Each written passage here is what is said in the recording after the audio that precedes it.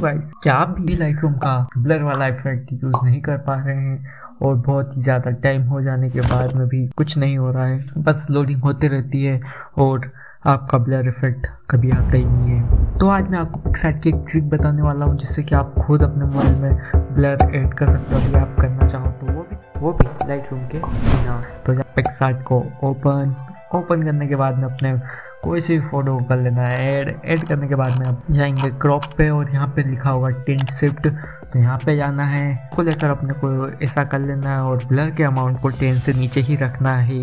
आपकी फ़ोटो के हिसाब से रख सकते हो वैसे तो पर टेन बहुत ज़्यादा लगता है। तो इसको अपन सिक्स सेवन के आसपास थोड़ा सा, या फाइव के आसपास देखते हैं। हाँ ये ठीक है। तो अब इस पर अपन कर देंगे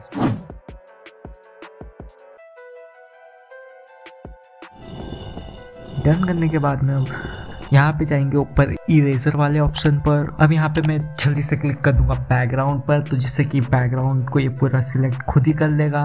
तो अब अपने को बस थोड़ा सा और काम करना है। तो आप पार्ट बचे हुए हो तो वहाँ पे बस पेंट कर लेना।